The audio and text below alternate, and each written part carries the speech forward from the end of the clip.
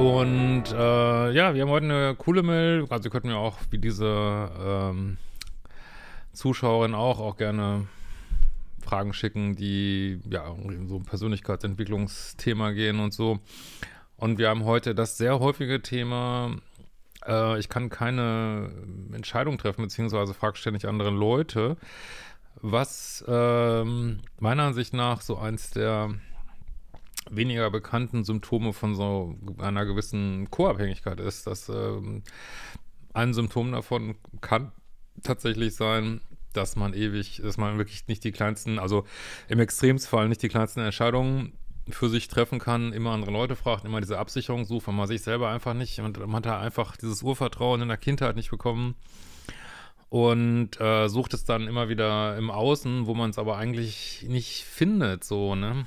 Weil vielen Sachen können einem andere nicht weiterhelfen, ne? Klar, wenn du jetzt äh, schwieriger, was weiß ich, wenn du die Umlaufbahn eines Satelliten be berechnen musst und das nicht kannst, äh, klar, da wird es Leute geben, die können das ausrechnen und dann weißt du es. Ähm, aber bei vielen Lebensentscheidungen ähm, ist es ja nicht falsch, andere zu fragen, also gerade wenn es große Entscheidungen sind, was sie dazu denken. Aber in letzter Konsequenz muss man selber entscheiden, weil das fällt einem super schwer, wenn man nie gelernt hat, auf sich selber zu vertrauen und sich eigentlich ständig in Frage stellt, was ja so ein Aspekt ist von, ja, einer gewissen Co-Abhängigkeit vielleicht. Hallo Christian, ich habe eine Frage, die sich auf dein Video zu Kartenlegen rückbezieht. Also tatsächlich Kartenlegen, also Spiri-Kartenlegen, bei dem es um die Gefahr ging, die mit der Beratung einhergehen kann, nicht muss. Ja, also es ist ja nicht nur Kartenlegen, also ich stoße immer wieder auf Leute, die ja regelrecht abhängig werden von so pseudospirituellen Angeboten, äh, irgendwelche, was nicht, gibt es das noch, 090er Nummern, äh, die man anrufen kann und wo man jede, äh, vielleicht auch im Zusammenhang mit so Ex zurück Geschichten, äh, diese ganzen, also diese, ja, wirklich fragwürdigen Sachen, wo einem dann gesagt wird, ja, er liebt dich, also auch wenn jemand nichts mehr mit dir zu tun haben will, ja, er liebt dich noch, ähm, ja. Und man dann nicht loslassen kann und weil man immer wieder so eine Hoffnung schöpft ähm, und aber auch nicht in der Lage ist, sich selber zu sagen, hey, das ist Quatsch, was ich da mache und ich, ich weiß eigentlich alles und das Leben geht jetzt hier weiter und es gibt wirklich Menschen, die, die tausende Euros reinblasen in solche Sachen und kommen keinen Schritt voran. Ne? Äh, ich habe wie die Mailschreiberin auch oft das Gefühl, dass ich sehr große Schwierigkeiten habe, meine eigene Entscheidung zu treffen. Das führt mich zwar nicht zu so fragwürdigen Spielangeboten wie Wahrsagerinnen, aber ich rede zum Beispiel meiner Ansicht nach viel zu viel mit Freunden und Familie über meine Entscheidung oder schreibe schon länger bei der Telefonseelsorge, weil ich eine Krise hatte und habe auch Therapie gemacht. Ja, also spricht natürlich überhaupt nichts gegen, äh, verstehe mich hier nicht falsch, äh, das ist doch super, dass es sowas gibt wie Freunde, Familie, Telefonseelsorge, aber das, also man, das ist so ein bisschen wie, wenn man immer wieder, man hat die Tür schon abgeschlossen und man guckt nochmal, ist sie wirklich zu, ist sie wirklich zu, ist sie wirklich zu.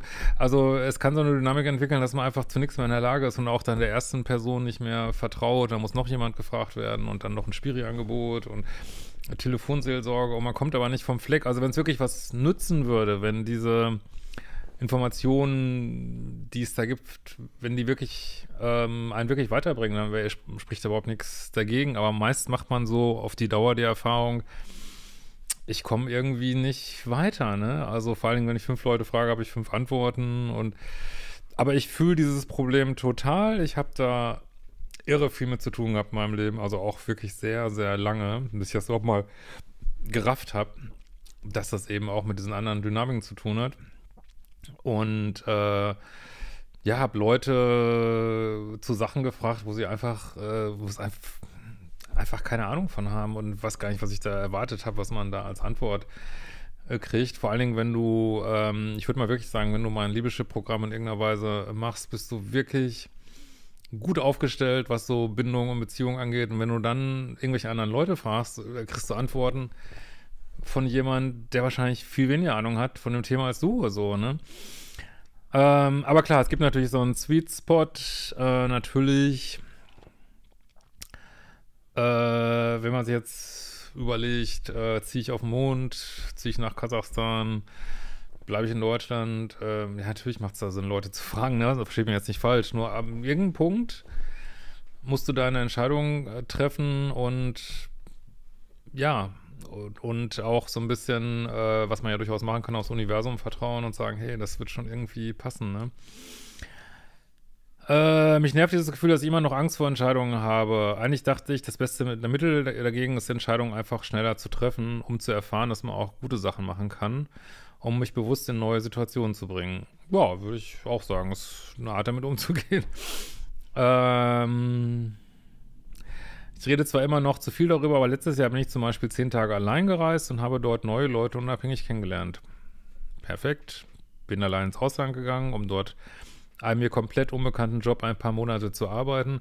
Ja, und wer hätte dir das raten sollen? Ne? Wie viele Leute haben damit Erfahrung? Äh, habe mich entschieden, einen äh, Master im Ausland auszuprobieren und versuche bewusst, Leuten nicht mehr entgegenzukommen, die mich nicht gut behandeln. Ja. Also, ich kann das total, also ich, wie gesagt, hatte da viel mit zu tun, ähm, aber eher so ein Beziehungsding, also in beruflichen Dingen äh, eher nicht so, aber ich kann mich auch an x Entscheidungen erinnern, berufliche Entscheidungen, wo mir Leute sogar von abgeraten, also massiv von abgeraten haben, die sich als, als äh, super hochwertige Entscheidungen getroffen haben. Ich, ja, will ja gleich wieder anfangen, äh, damals im Jahre 2000, als viele von euch noch gar nicht geboren waren. Ja, äh, da habe ich mich entschieden, eine Internetseite zu machen für meine Eheberatung und Paartherapie wurde, was noch wie alle Leute gesagt haben, du spinnst, man guckt doch in die gelben Seiten. Und ähm, gesagt, beruflich ist mir das immer leichter gefallen, auch mit den Online-Kursen und alles, ähm, die rechtzeitig, bevor Corona ist. Also das Problem ist auch, vielleicht hast du eine Intuition, die andere gar nicht nachvollziehen können. Und du spürst eine Intuition, dass du irgendwas machen sollst, äh, was weiß ich, wie ein Master in Kasachstan äh, und das kann kein Mensch nachvollziehen. Dann fragen sie, was willst du, was willst du in Kasachstan? Aber du hast irgendwie das Gefühl, das ist eine geile Idee und dann ist tatsächlich eine gute Idee, das zu machen. Natürlich mit äh, Sicherheitsnetz unter Umständen oder klar, Intuition, Vertrauen, das äh, hat auch so äh, seine Tücken. Ähm, also kann sich auch mal vertun und äh, man sollte schon, aber es gibt ja eigentlich für die allermeisten Sachen Weg zurück und äh, und keine Entscheidung treffen kann auch ein riesen Nachteil sein, so, ne? Also insofern, ja. Äh, wie schafft man es noch unabhängiger zu werden und die eigenen Entscheidungen nicht ständig zu hinterfragen, beziehungsweise ein eigenes Gefühl stärker wahrzunehmen? Meditation, Fragezeichen. Ja, klar, kannst du Meditation machen, aber ich bin ja auch ein großer Freund von so Verhaltens, also der Hund spielt hier, äh, von irgendwelchen verhaltensorientierten Sachen. Also ja, genau, jetzt einfach, äh, einfach tun, einfach Entscheidungen treffen. Also das machst du ja auch schon. Und dann vielleicht äh, feststellen, wow, da kommt was Gutes bei raus. Oder auch ähm, wirklich mal tracken, sag ich mal, wenn du andere Leute gefragt hast. Also wenn du jetzt wirklich einen super guten Ratgeber hättest, weil dann würdest du mir doch nicht schreiben, dann wär's ja auch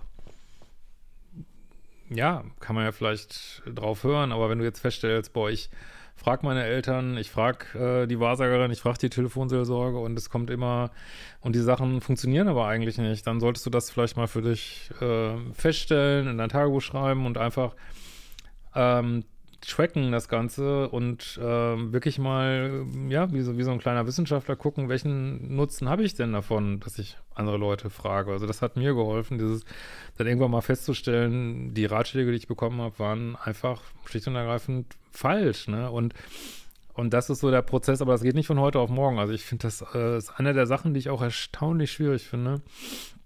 Weil das klingt immer so easy. Ich meine, ganz viele Leute fragen ja gar nicht, ne? Das ist, die sagen, was soll ich andere Leute fragen? Ich finde es eigentlich eine gute Idee. Eigentlich ist es nicht an sich falsch. Es ist nur, wie gesagt, wenn man es auf so einer, vielleicht, kenne ich ja jetzt nicht, ähm, eines, eines vielleicht etwas co-abhängigen Persönlichkeitsprofils machst, dann ist es nicht gut, ne? Also ansonsten, klar, äh, natürlich, wenn du fragst, ähm, was hätte ich was gesagt, wie legst du Geld an, fragst du einen Profi, aber unter Umständen kriegst du auch keine vernünftige Antwort, ne? Meine, wer, viele, Leute, viele Leute wissen auch viele Sachen nicht, aber klar, wenn du irgendeinen Profi hast in irgendwas, wie, wie spielt man Tennis und du hast einen Tennisprofi, natürlich kannst du den fragen, aber selbst da wird irgendwann ein Punkt kommen, wo du vielleicht eine Sache ein bisschen anders machst als der Tennisprofi und das für dich aber genau das Richtige ist, so, ne?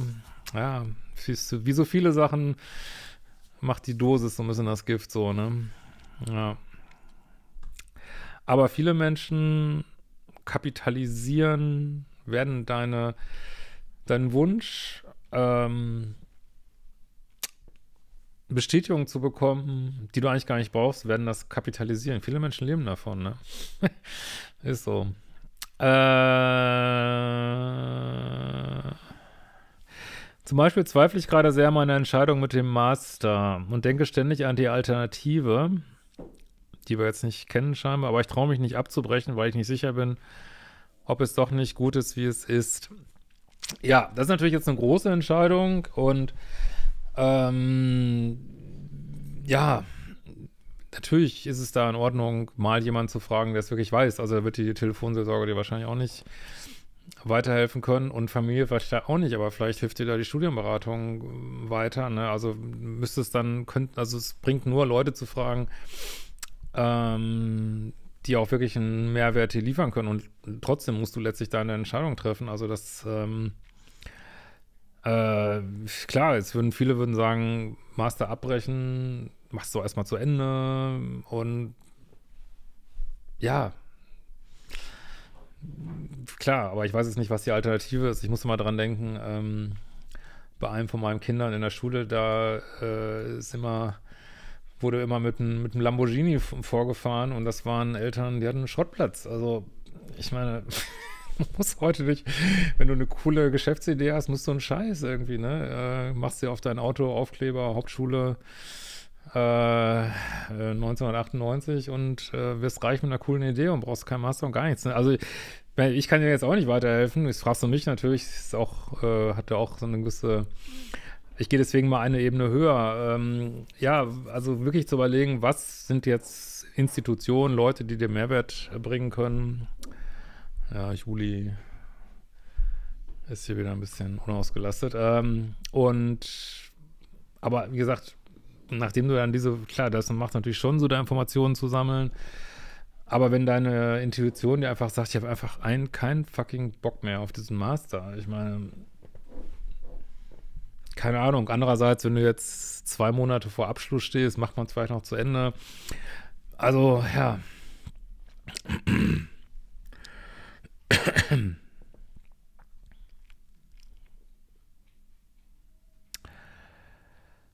Hm, wie schafft man es, diesbezüglich nochmal echtes Selbstvertrauen aufzubauen und weniger an sich und den eigenen Entscheidungen zu zweifeln? Genau, es geht um Selbstvertrauen, ne? Kannst ja auch mal einen Selbstbehauptungskurs machen, aber letzten Endes, ja, ist es schon, was du machst. Einfach Entscheidungen treffen. Und äh, wer soll dir das sagen, irgendwie, ne? Also, das ist, äh, Ja. Also, das ist, äh, weiß nicht, auch Sachen, die du vielleicht kaufst oder so. Ich meine, wer soll dir sagen, ob du jetzt diese oder jede Anschaffung machen sollst, ne? Oder, oder jene nicht. Also letzten Endes ähm, gibt ja auch viele, viele Dinge, die in sich erstmal keinen Sinn haben, sondern nur für einen selber so, ne?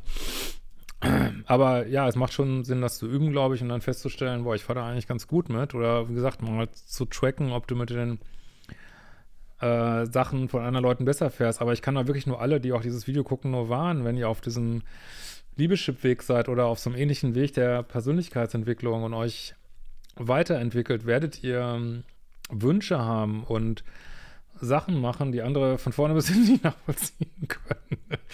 äh, einfach weil die euren Weg nicht nachvollziehen können, weil ihr vielleicht an einem ganz anderen Punkt seid und viel mehr Möglichkeiten habt, als es die anderen Menschen vielleicht haben. Vielleicht habt ihr, äh, befreit ihr euch von, äh, nehmen wir mal, ihr befreit euch von toxischen Beziehungen, äh, startet beruflich richtig durch, habt viel mehr Geld ähm, und trefft dann und sagt dann vielleicht, boah, ich, äh, keine Ahnung, ich kaufe mir ein Harley Davidson oder äh, was weiß ich, wo so andere sagen, warum, warum machst du, warum, warum kaufst du dir ein Motorrad? Warum? Ist doch gefährlich. Warum? Warum eine Harley Davidson? Warum nicht eine Kawasaki für 2000 Euro oder was weiß ich? Ja, weil es dir Spaß macht, weil du Bock drauf hast und weil du es jetzt kannst, so vielleicht, ne? Und, ähm, und dann Leute, die dann vielleicht weniger in so einer Fülle sind, können es vielleicht überhaupt nicht nachvollziehen ne? und äh, sind in einem ganz anderen Mindset und sind vielleicht wirklich in einer ganz anderen ganz anderen Bubble als so, in einer ganz anderen Frequenz und da kann man das auch nicht, nicht in sich besser oder schlechter, aber die können dir da nicht raten, so, ne? Und ähm, ja, auch so exzessiv die Telefonseelsorge anzurufen, kann Zeichen davon sein, dass, dass man einfach nicht klarkommt. Das, also bei dir ist es jetzt so ein bisschen so ein allgemeines Thema, finde ich auch, auch mal spannend. Häufig ist es natürlich ein Liebesding so, ne, dass man, soll ich den Ex wieder anrufen, soll ich ihn nicht anrufen, soll ich schreiben, soll ich auf diese Nachricht antworten? Äh, da machen sich viele Leute komplett fertig mit, ne?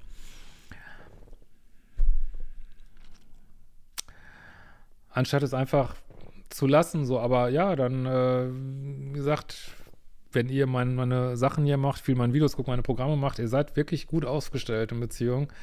Das höre ich auch immer wieder und äh, könnt Sachen viel besser einschätzen, ne? Und wisst eigentlich genau, boah, das war toxisch, das tut mir nicht gut, muss ich lassen. Fragt ihr jemand anders, sagen die vielleicht, ja, aber wenn er dich doch, wenn er dich doch, wenn er dir doch immer wieder schreibt, der toxische Ex, das ist doch ein ganz lieber, schreibt doch zurück. Und dann war es ein schlechter Rat, ne? Wirklich ein richtig ganz schlechter Rat, ne?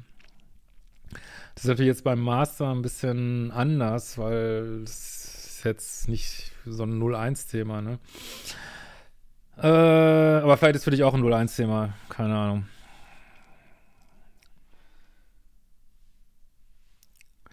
Und wo liegt die Grenze dazwischen, sich stur nichts mehr sagen zu lassen? Manchmal ist ein Blick von außen ja auch hilfreich und sich total abhängig zu machen. Also ich finde es schon gut, wenn du ein, zwei Leute fragst, die wirklich Ahnung davon haben, aber wenn du, wie gesagt, jetzt wegen dem Master fünfmal bei der Telefonseelsorge anrufst und äh, und weiß ich nicht, deine ganzen Familienmitglieder befragst, die vielleicht gar nicht studiert haben oder so, dann wäre es vielleicht ein abhängig machen, ne? Ich persönlich denke, der Unterschied liegt darin, ob man sein eigenes Gefühl zu der Sache in der Stille noch wahrnehmen kann oder nicht. Ja, sicherlich aber wenn man es mal ganz ernst nimmt mit Intuition, bräuchst du eigentlich niemand fragen, ne? Brauchst du nicht mal. Also wenn du wirklich geübt bist, deiner Intuition zu folgen, brauchst du eigentlich niemand fragen, ne? Also das aber also auch das ist nicht so einfach, dass man jetzt bei größeren Sachen vielleicht nochmal ein, zwei andere Stellen mit hinzuzieht. Genau, das wäre vielleicht ein ganz guter Mittelweg, ne? Ich finde das Thema super spannend, nochmal zu vertiefen, auch wie es mit Co-Abhängigkeit zusammenhängt. Das hängt, das ist ein, meiner Ansicht nach, ein krasses Symptom, Symptom von Co-Abhängigkeit. Ja.